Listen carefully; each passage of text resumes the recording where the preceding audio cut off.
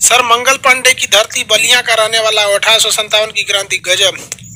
मृत्युंजय यादव जी, मंगल पांडे को सत सत नमन, बलिया की भूमि को। अंग्रेज़ों ने ही बोला था कि बलिया के लोग बगावती होते हैं, इसलिए आज भी बलिया को बागी बलिया कहा जाता है। कहा जाता है कि नहीं जी?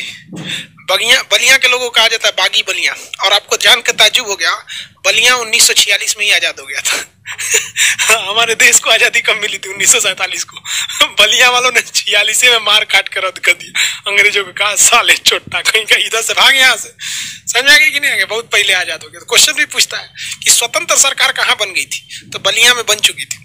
जरा मार से मार मार के रद्द कर दिया सब बलिया वाले। आज भी यूपी का बलिया और गाजीपुर जिला। गाजीपुर जिला में तो हर आपको मोहल्ले में फौजी मिल जाएँगे सब। तो गाजीपुर और बलिया देखिए, फौज के मामले में अभी बलिया को पीछे छोड़ दिया गाजीपुर। वहाँ के बहुत सारे लोग फौज के जो आप में से जो लोग होंगे, उन्हें पता होगा। चलिए, अठारह की क्रांति समझ में आ गया। यहाँ से अब गांधी जी को स्टार्ट करते हैं।